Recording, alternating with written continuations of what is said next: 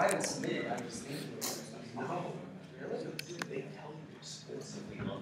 Okay, sorry for the late start of those last minute changes to the uh, lecture slides. Um, so uh, if, you, if you didn't notice, the homework, uh, first homework assignment went out this morning. Um, it's a fairly straightforward homework assignment. Um, that's why uh, you have less than a week to do this one. Uh, this is uh, due next Wednesday. Um, from that point on, lectures will, uh, the homework assignments will go out on Tuesday. Um, I actually, no, sorry, they'll go out Wednesday morning, they'll be due Wednesday evening of the following week. So you have a full eight-ish days to do those. Um, the specification is here. Um, I'm not, not really going to spend too much time on this. Um, but basically, your goal is to build a web page that looks like this. Um, for this particular homework assignment, you have to match output pretty exactly. Um, you're going to be putting together some, uh, you're, you're, provided with the content for this page, the, uh, the, the, actual text information on the page. You basically have to supply the, the HTML tags, HTML structure for the page, and then do a little bit of CSS style, uh, styling for it. Um, all the colors and fonts and things are specified in the, in the write-up, um, so you have to read that pretty carefully. It specifies everything. Make sure you don't forget anything. Um, other than that, it's fairly straightforward. Um, for those CSE majors, um, this is going to be a thing for all of the homework assignments. Uh, for CSE majors, uh, you, there, there are some optional extras um, that you can do. CSE majors have to do them all. Um, so uh, one of the things that they try to, to add to make the course a little bit more difficult for you guys. Um, I think that's pretty much all I want to talk about. Um, the the write-ups for this course, just like the write-ups for 142, 143, they're very dense. So you have to make sure that you catch everything. Um, read everything very carefully. If you don't understand something, ask you know about what, what does this paragraph mean, what does this sentence mean, um, uh, and and you know just try to make sure you uh, uh, understand what's going on. Um, this is the skeleton file. This has all of the text. So you're going to be adding the, uh, the HTML code to this. Um, you can use something called the web page comparison tool if you, if you, like, if you like to. Um, what this allows you to do is uh, compare your page with um, a, a, screenshot of our page. Um, so you, you specify your UW-Net ID right here, um, and what it does is it fetches your page there and it, it overlays it with, uh, with our screenshot. Um, the problem with this is that it's not very, it can be very misleading. Um, the goal of, of this assignment is to, um, is to have plausibly good HTML code. Um, and if you have good HTML code, it's possible that your solution doesn't look like our solution. Conversely, it's possible that you might have really terrible code that you have, have put together just so that it looks pixel perfect, which is not something that you should do. Um, you should approach this, this assignment from this, the perspective that you want to have just good tags, good HTML tags that are appropriate for uh, the content. And there are certain things in the in the uh, um, in our screenshot that sort of give a hint as to what tag that we used. Um, oftentimes we will sort of, obviously if we use that tag then it's sort of appropriate, right, because we don't make mistakes. But, um, but if you decide that that, uh, that that tag is not really what you want to use and you decide to use a different tag that's equally appropriate, that's okay, even if it doesn't look just like this. Um, chances are well, let me think. I, I, I can't really think of uh, an, an, instance where, where you might actually do that. But the spirit of this, spirit of the web page comparison tool is, um, it's actually, it really should be taken with a grain of salt. Um, the spirit of the assignment is to choose plausibly good HTML tags, and they might be different from the ones that we've chosen. So, and that's okay.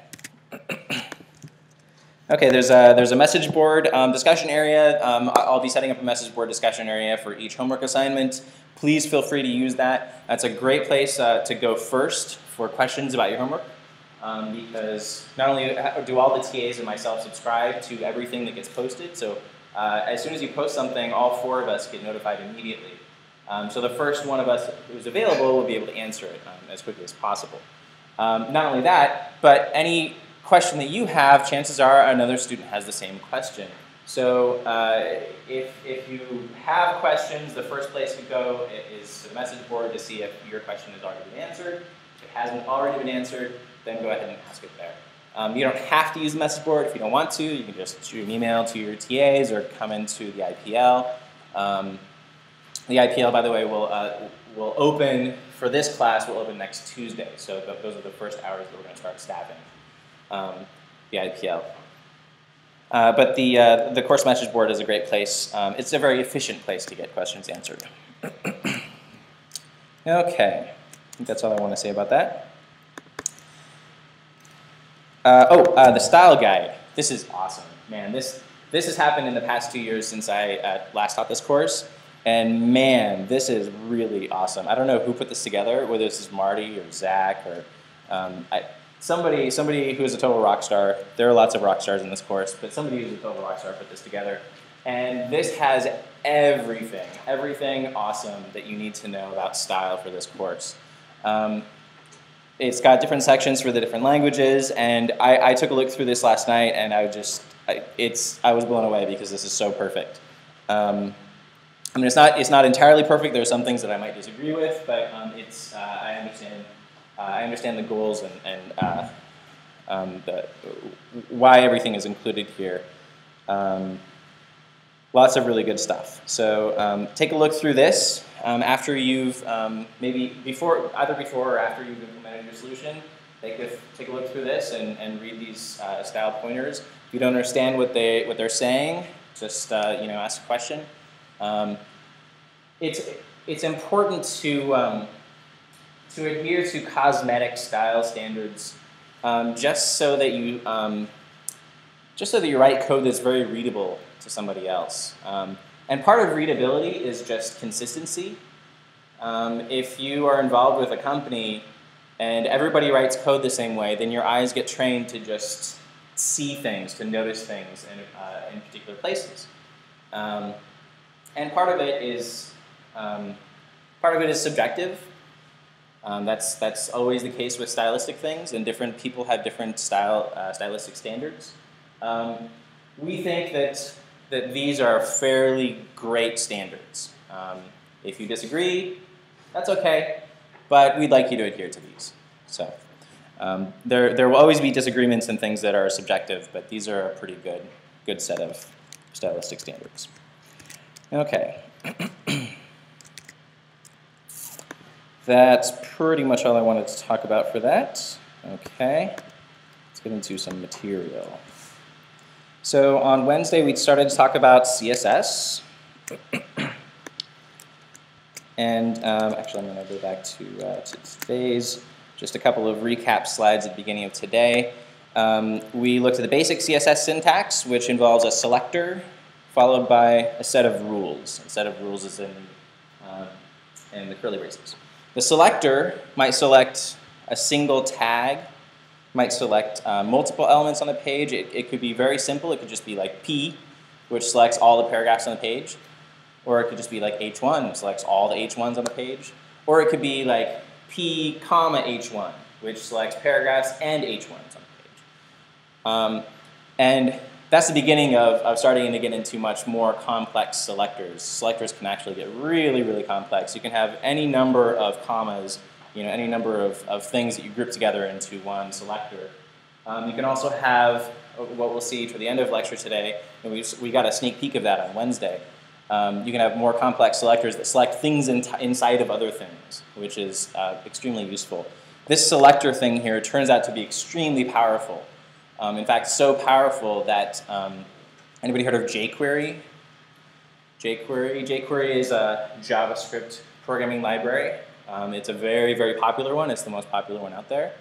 Um, and it, this selector syntax is so powerful that jQuery decided to adopt that for selecting things uh, using JavaScript. Um, we'll talk about that later in the quarter.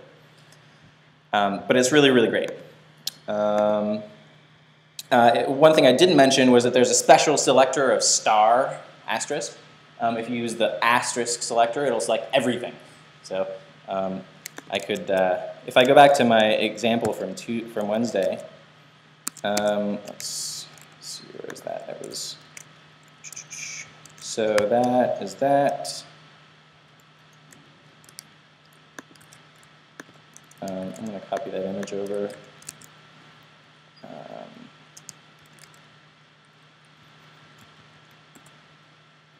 so this is our HTML page that we put together on Wednesday, our first HTML page. It was my resume and, and, uh, and awesomeness. Um, and uh, so I'm going to add a CSS rule for star. Um, maybe we'll make um, text decoration blink.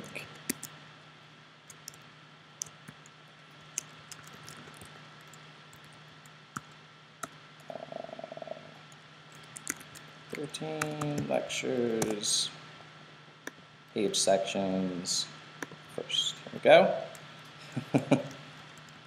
All right, so I've, I've just selected everything on the page and made everything blink. Um, uh, the numbers aren't blinking in the list because the numbers are uh, dynamically generated. So they aren't a thing that you can select. Um, so the browser dynamically generates them automatically. Um, so that's a little bit, uh, that, that's something that uh, is difficult to, uh, to style actually, the numbers. Okay, I'm going to turn that off because that's really annoying. okay.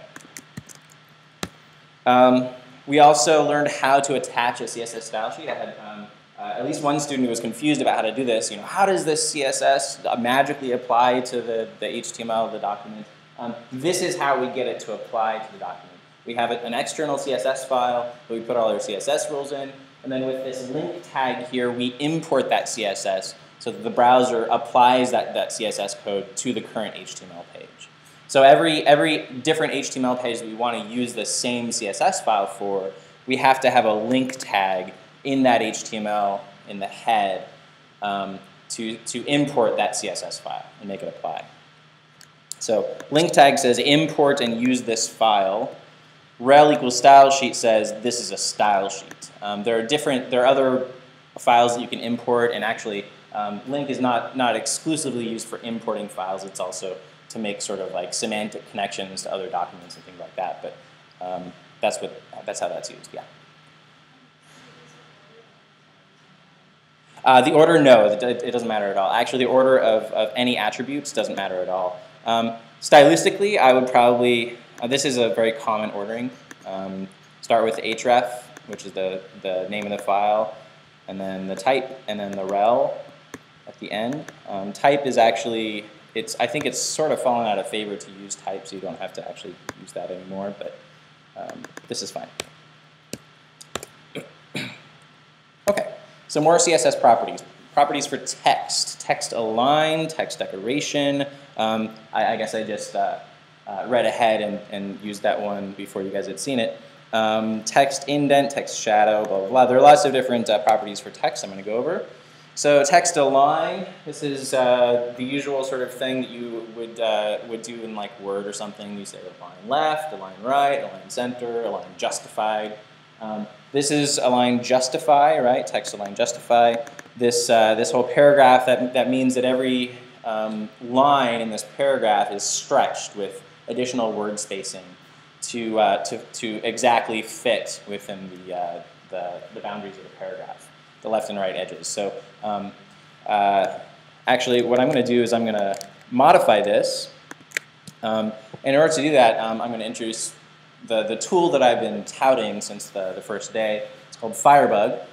Um, and the great thing about Firebug, one of the many great things about Firebug, um, and not exclusively Firebug, there are other tools and other browsers that do the same thing, but uh, one of the great things about it is it allows you to inspect the page, inspect the contents of the page, and modify it sort of dynamically on the fly.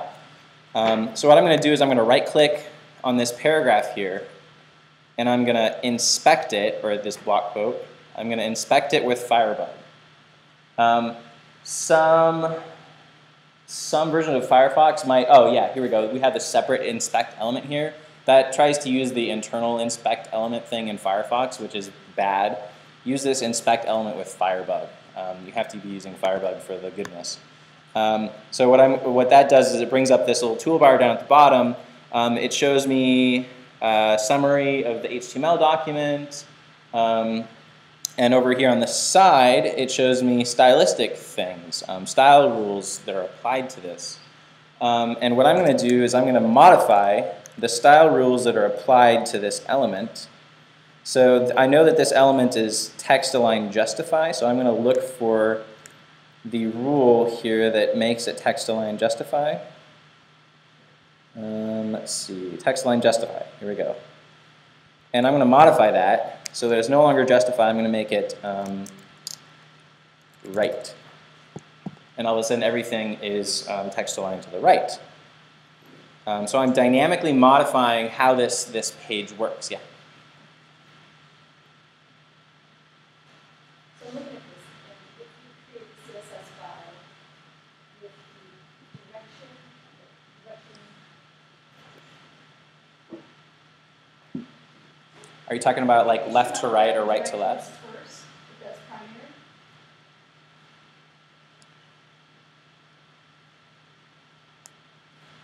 So it looks like, uh, you've got like two CSS files here, it looks like which takes precedence? Which, um, so what I'm doing is I'm, uh, so I, I only have, oh, I, I, do you mean like up here? Let's see. Do we have, we, we might have multiple CSS files applying to this. Um, yeah, okay, yes. Uh, yes, you're right. Okay, so you're seeing down here we have multiple CSS files, yes. Um, and and uh, we'll talk about in a sec, um, we'll talk about how um, the browser determines which style rules apply. Um, there's a sort of an order of precedence uh, for, for different style rules. That's a good question. Uh, we'll talk about that in just a sec. So I, what I've done is I've made this, um, I, have overwritten, I've overridden um, the, the text align property to make this text align right, and I can make it center, and I can make it left, um, and I can just uh, change, change this at will. Of course, I'm not changing the original, I'm not changing the version on the server. Um, it doesn't allow me to do that. I'm just, I'm just modifying how it's showing up in my browser. Um, I'm, I'm, I, I'm modifying a local copy. Um, okay, I'll, I'll just sort of minimize Firefox here for a sec, and then we'll move on. Text decoration. This is uh, how we introduce underlining, overlining. I have no idea why that's a thing. It's so ugly, but you can use it if you want. Uh, line through Blink. Blink is uh, actually not supported by most browsers now. Firefox is like the only one, I think. Um, you can do multiple if you want. If you want to be really ugly, you can do an overline and an underline. It's up to you. You have that choice. Um, text shadow is a new one in CSS3. CSS3 is the newest version of CSS. It's actually not even finalized yet. Um, introduces a lot more special effects and things. Um, in fact, actually, uh, not this week, but next week for our extra session, um, I'm going to be delving further into some newer CSS3 features. Um, I'll, I'll, give you sort of a preview of that next, next, that'll be next Friday. I'll give you a preview of that next Friday, but um, uh, CSS3 introduces a lot of really cool things. You can make things fly around the page and stuff. It's pretty neat. Um, so this one, uh, maybe I'll just modify this too with Firebug. So let's see. We're going to have to find the text shadow property. Where is it? Text shadow. Here we go. So we'll modify this one and we'll make it like fuchsia because fuchsia is so much better. Um, and then, uh, so the first number here is I think the x offset, so we can make that like a 10, and it moves it further to the left. We make this um, negative 5, and it moves it up above, and so on. So um, Firebug is a great way of, um, of just sort of learning things, how, how things work, because you can see how, how it uh, affects it immediately. In fact, um, sometimes people actually just design in Firebug. They're like, okay, I'm just going to add some style rules and make this, you know, this all apply because they can see immediately how it works, how it, how it takes an effect. Um, and then they just of copy and paste that into their CSS file. Um, of course, if you do that, it's easy to forget, you know, to copy and paste in your CSS file. Then you reload, and it doesn't it doesn't show up like you expected it to. So, um, but that's a common thing. List style type. Um, this allows you to affect the um, the numbering of an ordered list or an unordered list. So OL or UL. Um, none means nothing at all. So you can turn off the marker, you can turn off the number, you can turn off the bullet completely by saying list style type none. Um, that's a common thing to do. The rest of these are, are much less common. Um, I mean, if you're writing a legal document or something, you might have all these like Roman numerals and alphabetical stuff, whatever. But uh, and you can do like Greek and other stuff. Um, but uh, the most the most common ones are uh, just none, basically. And, and disc actually, disc um, allows you to. That's the that's the bullet. Yeah.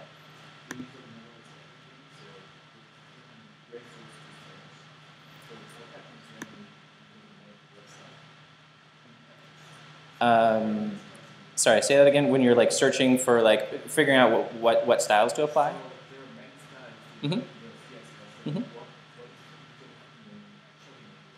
Mm-hmm. Yeah, oh, that's a good question. So he's saying like uh, there are lots of CSS rules here. How do we know like when we're designing a site, how do we know how to do what we need to do? Well, yeah, you kind of do need to remember that there's a style rule for that. Um, or I mean, there are, there are resources you can you can peruse through the entire list of CSS uh, uh, um, properties, and you know uh, you you can look through the CSS spec, CSS 2.1 spec. Um, at the W3C, this organizes things by um, uh, in like in categories and things like that. So this is the spec that all browsers have to adhere to if, if they're CSS 2.1 compliant. Obviously they don't have to, but they do. Um, so this, you know, groups things into like, okay, so there's a section on selectors, so you can look at all the possible selectors. There's a section on, uh, let's see,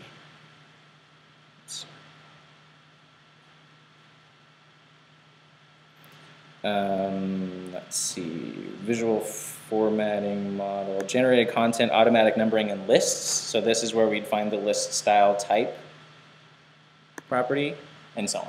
So um, it, it groups everything into categories. So that's uh, that's possibly a good resource. It's a little bit technical, so um, you know might not be as approachable for an, uh, an intro student. Um, you can also look at W3 Schools. That's kind of a classical um, page to go go to W3 Schools.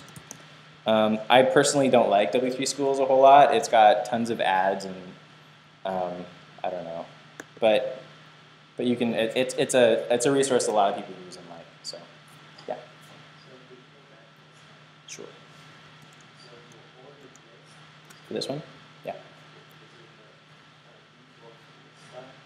Yeah, that's that's a good question. So for ordered lists, the default is decimal.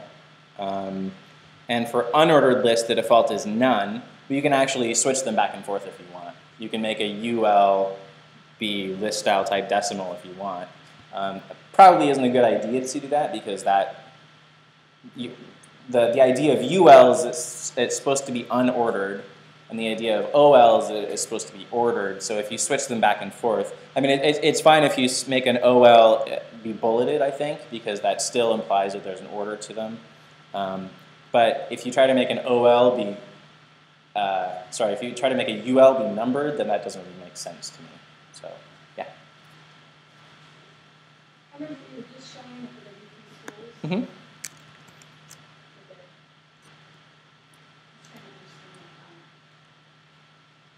I love about, read a lot of reviews that said you should not depend on this because they said that sometimes they're not following kind of the, the popular, the testing and dependency things that we do. So which site do you recommend? There are. Um, there are so uh, W3 Schools is one um, uh, that that incorporates a lot of uh, browser uh, support. Um, there are others that, that talk about different browser support, um, uh, the varying browser support for different features. I don't want to get into that right now. Uh, for now, we're sort of in the in the kiddie pool, and we want to sort of assume that everything just works. Um, it's not the case that everything just works, but uh, later on in the quarter we'll talk about when things don't work and how to, uh, how to get around that. Um, yes, it's true that not all browsers support all features, um, especially with CSS. Um, but it's the case that this is a, a version of CSS, CSS 2.1, um, that is very widely supported now. So pretty much everything here you can count on working. Not everything, but pretty much everything. At the end of the quarter, we'll talk about how to fix it when it doesn't work. Good question. Okay, uh, properties for backgrounds. Let's see, you can change the background color or something. We talked about that before. Uh, background image, you can put an image behind everything if you want to. Um, you can position that background image, you know, uh, however you want to. You can make it repeat, uh, and so on. So we're going to take a look at a couple of those. So background image here, we're putting this single image here, this images slash draft.jpg. Um, this is actually just like, it, just this single word draft is the image, and it's just being repeated. Um, it's being tiled. Um, you can make it repeat in different directions if you want. Repeat X makes it repeat horizontally. Repeat Y makes it repeat vertically. Um, and then you can just say no repeat if you want to turn off repeating. So we've turned off repeating on this slide. Um, and we've positioned it in a particular location, a particular pixel location. Um, body styles, we talked about body styles on Wednesday. You can set the base font size for everything to a particular font size. You can set base color to a particular color and then override it uh, in, in particular instances where you need to override it. Here we go, styles that conflict. Um, in general, you should sort of assume that the, if two different style rules apply to the same element and they set two different things, so in this case we have H2 is being set to color blue, but then later, uh, as part of this list of elements, but then later on we have H2 color red. The later one is going to override the, the earlier one. Um, it's a little bit more complicated than that. Actually, it's very complicated. The rules with that, that CSS uses to determine which things will be applied. Um, but in general, at least for now, you can assume that um, with these types of selectors, um, the later one will always override the earlier one. Embedding style sheets. Okay, now we're going to teach you about something that um, we need to teach you about, but is a bad thing. Um, and I'm going to tell you specifically why it's bad. Well, I, am going to ask you actually why this is bad. So you can, if you want to, you can, uh, so what we've done is we've uh, put a CSS file externally in a separate .css file. But you can, if you want, embed stylistic information inside of the HTML document, inside of the head tag in a tag called style, so a style element. You can just put CSS code there. Why do you think this is a bad thing?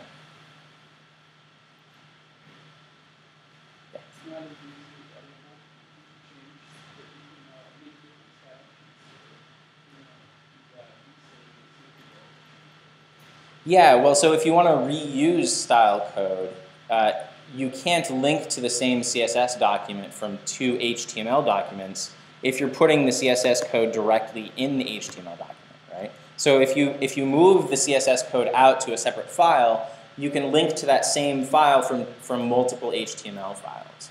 So you can reuse the code. Um, so, so basically, I mean, that's, that's really what it boils down to, is reusing the code.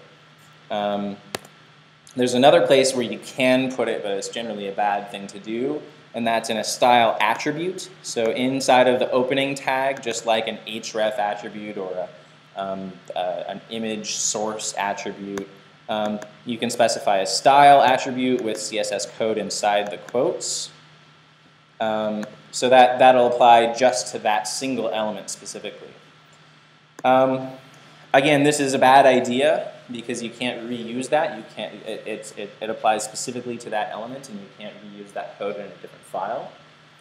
But I mean, this is sort of like um, this is one of those things that we try to instill a really like we, we, we, we try to come down hard on you and and have that you know that angel on your shoulder you know saying oh is this the right thing to do if you try if you think, find yourself wanting to try to do this um, we, we sort of try to instill that I don't know Catholic guilt in you uh, if you try to use this. No, I shouldn't be using this. No. But there are circumstances under which you should use it. Okay.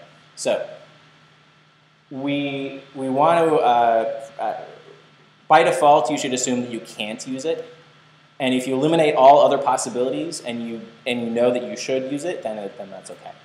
It's kind of like um, it's kind of like global variables um, in like Java or JavaScript or any any other programming language in 142, 143, we sort of hammered into you that um, you know you, you shouldn't use global variables. Actually, that, that's what people come away with is that, I shouldn't use global variables. I shouldn't use global variables. That's totally not true. Global variables are great. They're fine, but not if they're unnecessary. You can have a thousand global variables in your document as long as each and every one is absolutely necessary. You're totally fine. In fact, you're, you're better than fine because you're implementing, you're, you're solving the problem in the best way possible because you've, you've, you've determined that each and every one is absolutely necessary. But as soon as you add one that's completely unnecessary, that's bad. That's bad thing. So um, we, we just try to um, we, we try to make you think very very hard. It, it, the problem with with uh, global variables, especially, is that it's difficult to see that it's actually completely unnecessary. You have to think about the problem really, really hard in order to determine, yes, this is absolutely necessary, or this is, uh, in order to be able to see that, oh, I don't actually need this. I, I can um, solve the problem in a different way, a more elegant way that doesn't use a global variable. So that's, that's why we, we, we hammer in these, uh, these style things, we, just to make you think, basically. Yeah. Okay, so, so exceptions to this when you use this kind of thing, uh, when, when would that, what would the example of an exception? Um, well, a good example of an exception is just a complete one-off.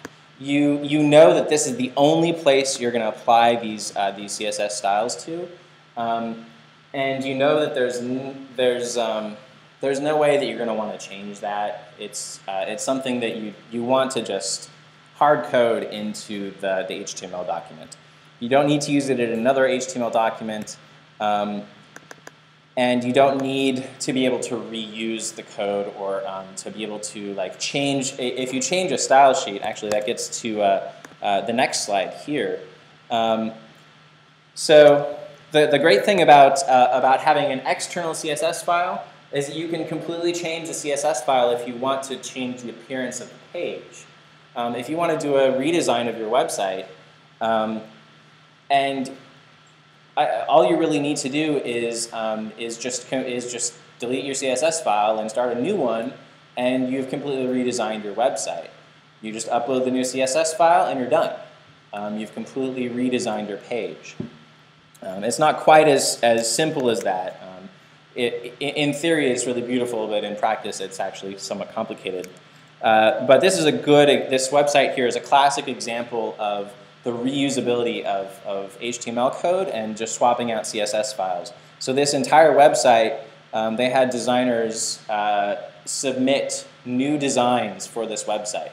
And what they do is if you uh, select a design over here on the right, it doesn't change any of the HTML. It only changes the CSS code and the images that, are, that the CSS code links to. And the entire appearance of the page changes completely all the same HTML code is used, it's just different CSS code. And everything is just vastly, vastly different. All of this can be accomplished just by switching out the CSS. Um, there's another one over here. So um, lots of, of, uh, of flexibility that CSS offers.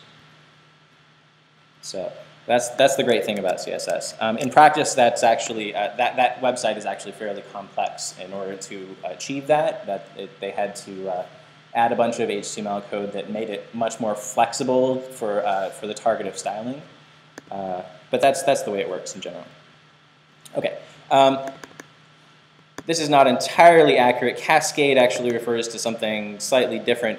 But uh, in general, this is, this is a good approximation of what cascade means. Um, there's an order of precedence to the way uh, CSS rules are applied. First, the browser's default styles are applied. So uh, most browsers by default, they say, okay, well, I'm going to make an H1 200%, I'm going to make um, strong be bold. I'm going to make EM be italic. I'm going to make um, the default type of list style for an, a UL be bulleted, and the default for an OL be uh, decimal, and all that stuff. Um, and I'm going to add some other stuff like margins and padding and stuff like that that we'll talk about on Monday. Um, so the browser applies just a basic default style sheet so that uh, any HTML element that's rendered on the page, it sort of um, indicates visually like what type of element that is. Um, that gets overridden by anything in a link, uh, in an external CSS file that's linked uh, through a link tag.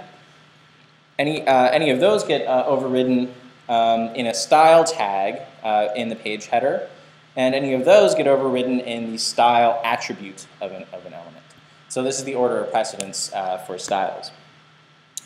Um, and certain styles are inherited, um, certain other styles are not. Um, for example, font size is usually inherited, um, but color is not. Well, color is in some circumstances. Um, boldness, um, let's see. Okay, so what is this example? This example is background color. Background color is not, not inherited, so the body is background color, but everything else um, actually just has a background color of invisible, um, so that whatever you see, whatever behind it just bleeds through. Um, color red, background color aqua overrides uh, background color invisible, text decoration, overline, underline. Um, so by default, um, hyperlinks have a, a greater, uh, so they, they, by default the, the browser style sheet um, makes a specific color for the, uh, the link tag, so it doesn't inherit the background, the color of red. Um, let's see, H2, text align center, bullet list. Yeah, so some, some styles are inherited um, and some styles are not. Um, uh, the, the biggest ones to inherit are usually um, uh, font size. Uh, and the ones that are, one of the, the most notable ones that's not inherited is color on, uh, on links. Pseudo classes. Um, so there's a, a, special modification to a selector, um, this colon link, colon visited, colon hover. Um, these are variants of the A tag in a particular state. So A tag when it's an unvisited link, uh, I can give it a particular color. I can give it a particular color when it's already been visited. I can give it a particular color when the mouse is hovering over it. So those are three different state variations of the A tag. Um, I can do that uh, for any actual, actually any element on the page. Um, for example, um, let's go back to our star here. I'm going to say star colon hover um, color uh, yellow.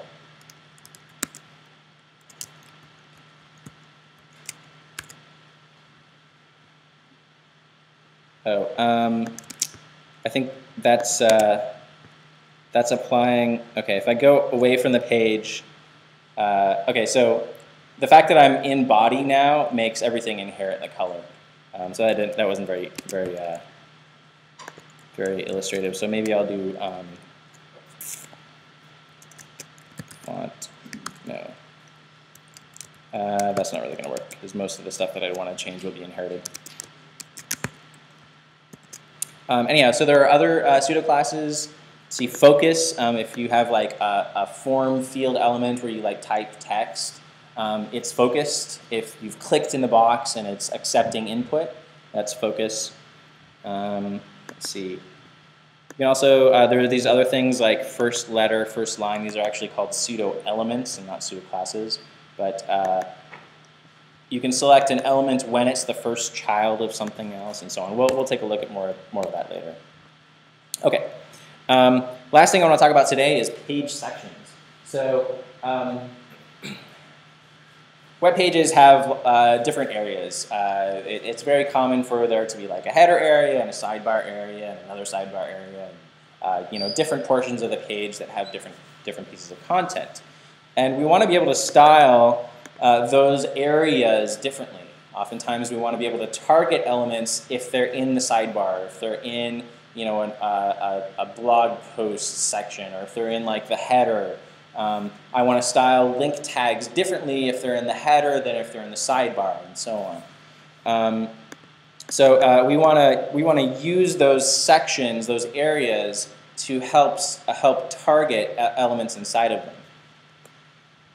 And one of the ways that we can do that is with uh, an attribute called ID. Um, if we give something an ID, then we can select that specific thing. Um, so uh, it, the question was asked on Wednesday, what if I want to target a specific thing or a specific group of things that, uh, that don't, don't, coincide with the tag name? So I want to select you know, certain paragraphs only if they have you know, certain properties or whatever. Or I want to select just this single thing. Um, not all paragraphs, but just this single one. Um, this is how you do that. You slap an ID on it to select a, a single unique thing. Um, an ID, you can't use an ID more than once, uh, a particular ID more than once in a page. So this ID equals mission. I can't assign anything else on this page the ID of mission. ID is unique for that page. Um, that's, uh, that's what differentiates ID from uh, something else called a class. A class is something that you can attach to multiple things on the page. So if you have um, certain paragraphs that are different than other paragraphs, and you have several of those types of paragraphs, maybe it's like an error message or something, and you might have several different error message paragraphs on a page, you can say p class equals error, uh, you know, once, and then you can say p class equals error again. Those are both errors, and you can style the error paragraphs differently than other paragraphs. Um, Another thing that you can use for um, IDs is you can, uh, if you just, if you say hash uh, the name of the ID, um, it, it, and you've assigned an ID to an element on the page. Um, so in the URL, in the address bar, if you add hash ID, then it'll jump down to that the thing with that ID, uh, which is kind of useful. Um, to select things uh, that have an ID, use the hash syntax in the CSS selector. So hash mission styles the thing with the ID of mission. Yeah. Would the example be like Wikipedia table uh, when you've got on where you've got a table that you can actually on, on Wikipedia you've got a table of contents where you can click on that and jump to that particular uh, mm -hmm. part on the page. Yes. Perfect example. Uh, yeah, so at, at, the top of lots of Wikipedia articles, if they have lots of subheaders in that article, they'll have a table of contents with a list of links, and you can click that list of, you can click a particular link, and it'll jump down to that section. They use IDs for that, so you use hash, the, the ID of that header, and then the, the, the browser jumps down to that header. That's a, that's a great example. Um, okay, so the class attribute, you say class equals blah, blah, blah. You can attach multiple classes to a single thing. Uh, I'll see that in a sec. Um, so dot special is a dot, uh, the, the name of the class is the selector for classes. So anything with the class of special gets applied uh, these rules. Uh, you can specify, um, so this will apply to any element with a class of special, but if I want to speci specify only paragraphs with a class of shout, then I say p dot shout. Um, it's important that you don't have a space in between there. So not p space dot shout, just p dot shout. Um, and that will apply only to paragraphs with a class of shout. You can specify multiple classes on a single element, just separate them with space. Um, so this has both the shout rules and the special rules applied to it. Uh,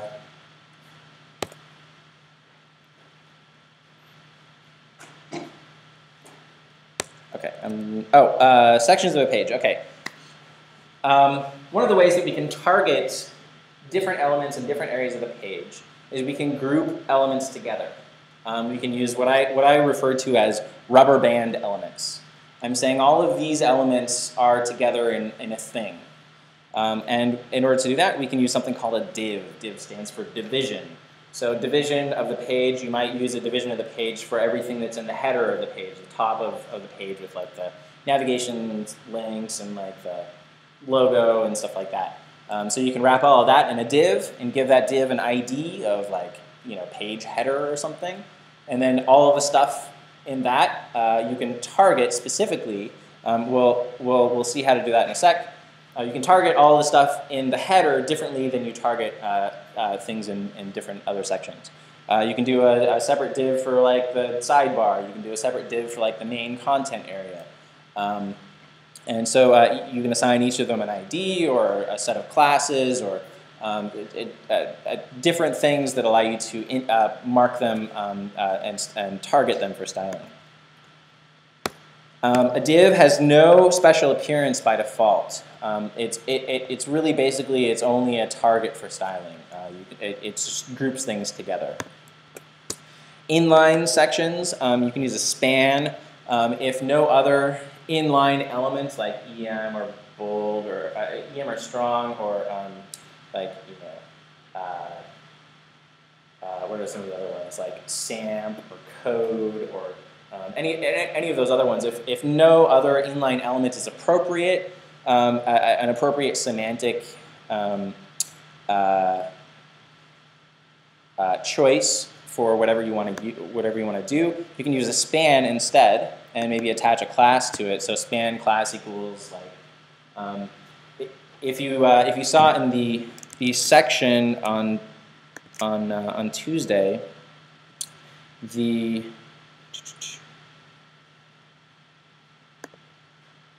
Uh, that should have been posted on Tuesday, was that not? It was there, but it's not anymore? Weird, okay. Um, let's see, sections, section one. There we go. Um, so in this example on Tuesday, if you got to the Oh, no, I guess it's next week. Uh, I guess I must have removed it. Um, okay, so if you, uh, like an example of, of this is maybe you have a, a, a you want to mark this as a term or something. Like you want to mark this as a thing that, that could be defined. You could say class equals term. Or if you want to mark it as uh, um, so if, if you're marking up a play and all the character names in your play have a particular style, have like different styles applied to them, then you can say class equals character or something. Um, so this is basically, uh, it allows you to uh, instill a little bit more meaning in uh, whatever you want to, uh, uh, whatever this is. Um, so you can style um, you can style things differently based on uh, their class or on uh, an ID that's applied to it. Um, HTML5 also introduces a few new page section tags. So before HTML5, we basically just used divs with uh, different IDs or classes. Um, and, uh, and as soon as HTML5 came along, um, it, when they were developing HTML5, they realized, well, this is a really, really common thing for people to have a header section and people to have a, like a navigation section and like a sidebar and, and like different like articles and things like that. So they just decided to come up with tags for those for those different things. So header and footer are things that you can wrap around the top and the bottom of the page.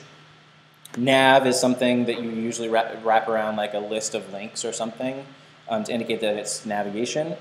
Heading, um, not to be confused with header. Heading is a compound heading, something that wraps, it sort of rubber bands multiple H, you know, H1 or H2 or whatever is together. Um, so if you have a, a, heading that you know is like the main heading plus a subheading, and you want to group that together into a single heading, then you wrap it in a heading tag. Aside is for something like usually a sidebar or like you know like a footnote or something like that. Section just a generic section of the page that's not any of the other types of sections. I would use, usually use this for like the central area of the page um, and maybe possibly sections inside of that central section.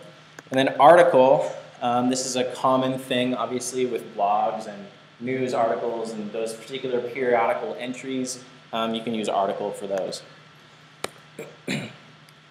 okay, uh, lastly, context selectors. We looked at this uh, briefly on Wednesday. The, uh, the most important context selector to know is, is the, the, easy, the, the most difficult to see is just the space.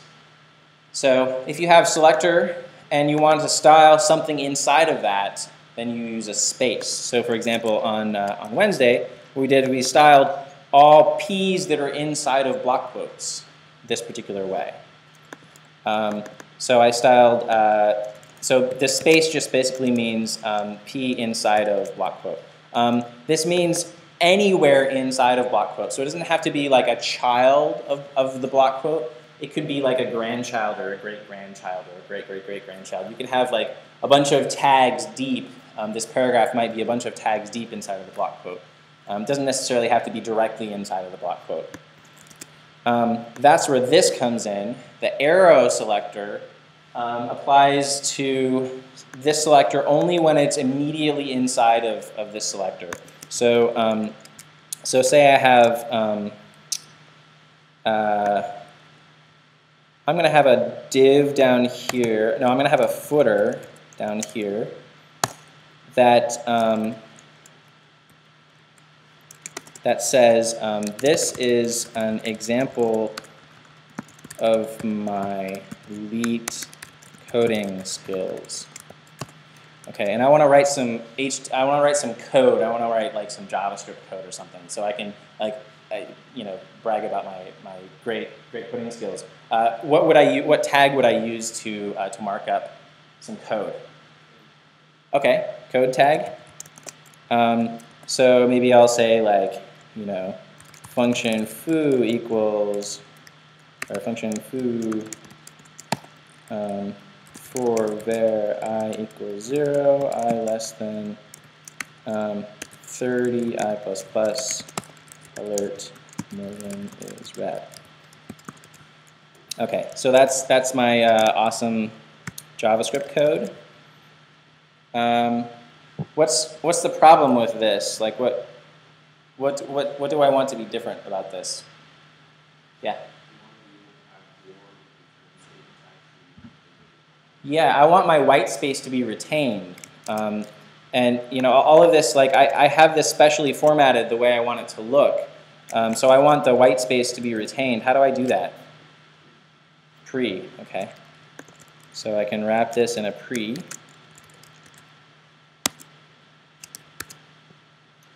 Okay, that also might not be what I want. Why, why is it all indented like that? Because it's indented here. it's just saying, okay, I'm going to retain all the white space. I'm going to retain all this indentation here. Um, I'm just going to get rid of that. Um, and I think actually if you use pre and code together, um, you actually have to do something like this. So I'm going to do that. Uh, the other thing that my, uh, my syntax highlighting is pointing out is that uh, this is wrong, right? What does this need to be? Yeah, the ampersand LT semicolon, I'm gonna, oops, I'm gonna convert that. Hey, convert these, convert selection to entities. There we go. Um, so the ampersand LT semicolon, that's, uh, that's the escaped version of the less than sign. Yeah.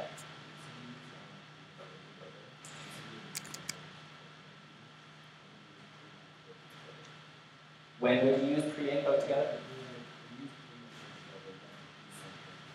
Oh, um, so I think, so if, if I don't, if I do this, I think it, uh, it retains this, this new line. So it'll have a new line at the beginning. I don't think I want it to have the new line at the beginning. I think I want to, cause because it's going to retain white space, so I don't want it to have a new line before, a new line after. That's, that, yeah, so that got rid of the new line before. um, so this is sort of a, an argument that I have with Marty, um, actually. So I, I, I think that it's most semantically correct to use pre and code together when this stuff is code. Okay? So pre is not sufficient in my mind to indicate that this is code. Pre could be anything pre-formatted. But code specifies that it's actually code that I'm writing and not something else. Um, Marty's like, oh, whatever. It's you know, I'll just make it pre-formatted. I, I don't, I don't, I don't. He, he doesn't really feel the, the the compulsion that I do to make it semantically important. But um, you can do whatever you want. I prefer this way. Okay. um, so let's do a couple of um, selectors. So um, I'm going to say um, um, specifically, I like the code tag. Okay, I'm going to escape that. Okay, and I want to say, oh, I'm going to have to actually wrap this in a code tag, right? So because this is HTML code, I want to indicate that it's code, so I'm wrapping it in a code tag. Um, and I want to style the two codes differently. I want to style this code um, because maybe it's inside of a pre-tag. I want to style that differently than the other one. So let's go back uh, and refresh up here.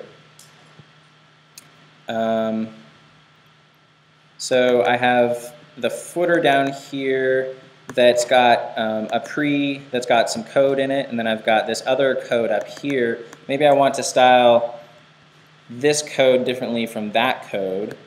Um, I want to style this code to be like yellow or something.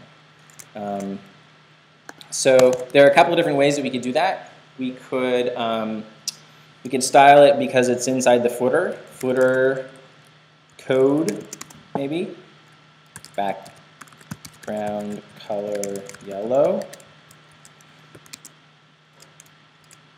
That seems like a, a good way of doing it. Or we could target it because it's inside of the pre-tag. Maybe, um, maybe I know that uh, as I'm developing this document in other instances wherever I have pre and code together, this block of code, I always want to style that the same way. So maybe this is, this is what I want to do. Um, maybe footer code I would use only if this is just a one-off, if I only want to style the one in the footer this way. And I want to do that on all pages. Um, I think I'm going to go with pre-code, maybe so, so this is more reusable. Um, or I could do, um, uh, maybe I want to style this one differently. Um, I'm going to give this a, um, uh, an ID, so this paragraph, I can target this ID specifically. I can say ID equals foo. Um, no, I'm not going to call it foo. That's a bad name. I'm going to say uh, welcome because it's saying, hi, my name is Morgan. So that's kind of a welcome. Um, and I'm going to say dot welcome. Oh, sorry. I, I, made it an ID, right? So I have to use hash welcome. Um, I'm going to say um, font style italic. Okay, font style italic for the welcome okay? But maybe I want to undo the italic for the code. I don't want the code to be italic. I want to say welcome code font style normal. And that undoes the italicization for that. Um, and that's the last slide for today. Um, that we'll, we'll continue with this on Monday. So have a good weekend.